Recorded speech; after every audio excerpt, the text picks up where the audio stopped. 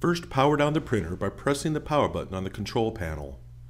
Once the print engine is turned off, then turn off the main power switch. Lift the lid.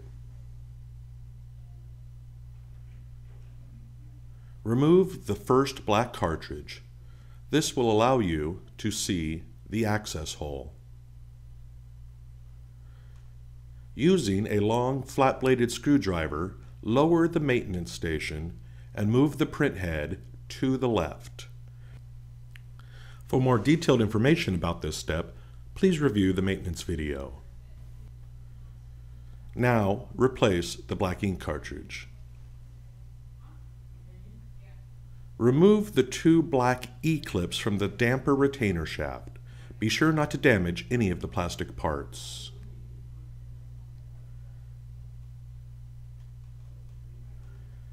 Next, slide the damper retainer shaft out of the way.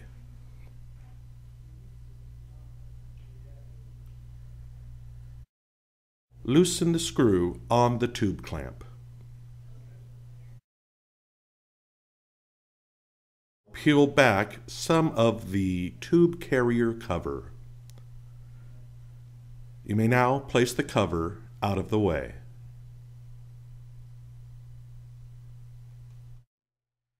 Using a flat-bladed screwdriver, lift off the appropriate damper. Be careful that the screwdriver only contacts the hard white plastic as shown. Next, inspect the damper for clogged ink or damage to the diaphragm.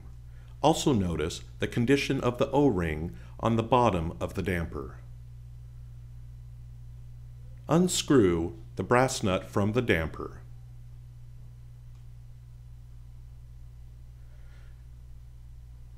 Now, pull off the ink tube. The O-rings should not be touched by your bare hands because the oils and skin can prematurely damage them. Attach the new damper by attaching the ink tube and replacing the brass nut.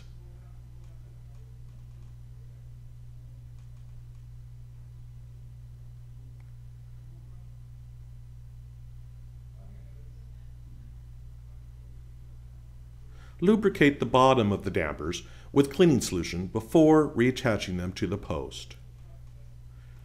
Now place the damper back onto its post.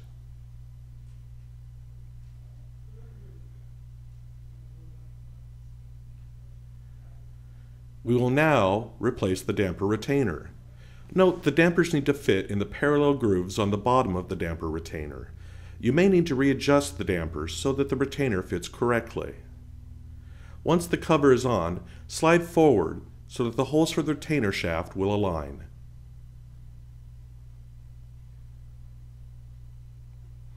Reinsert the retainer shaft.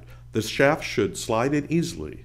If it doesn't, recheck the damper alignment with the grooves on the bottom of the damper retainer, then replace the E-clips. Close the tube carrier cover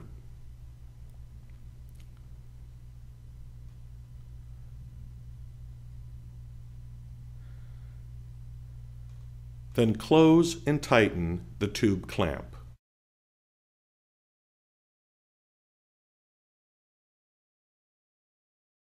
Then power on the printer.